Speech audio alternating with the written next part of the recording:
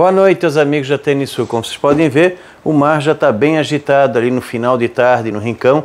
São quase 6 horas da tarde e começa a agitação do mar por causa da baixa pressão que vai se formar no oceano. Isso ainda é consequência dos ventos no mar aberto. E a perspectiva é que a gente tenha Tivemos agora no final da tarde pancadas de chuva e trovada em algumas cidades, nem todo mundo teve chuva, algumas passaram sem. Amanhã teremos, como podem ver no mapa, a chuva ficando mais concentrada na parte leste, boa parte do estado tempo seco. Se tiver alguma chuva, é pancada bem isolada pelo estado, podendo passar em branco. E a temperatura começa a ficar mais amena, né?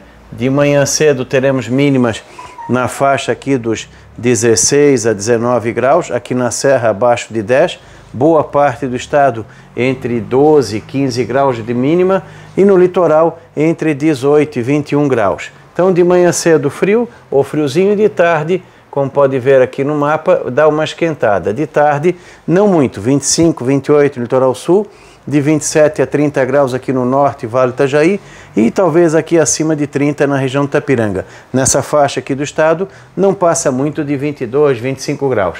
Então, nessa terça-feira, teremos melhor de manhã e pancadas de chuva e trovada à tarde e noite. Quarta-feira, situação parecida.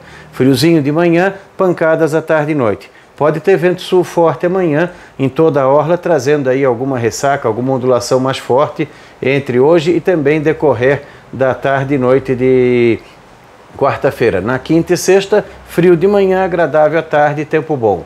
Da Climaterra, Ronaldo Coutinho.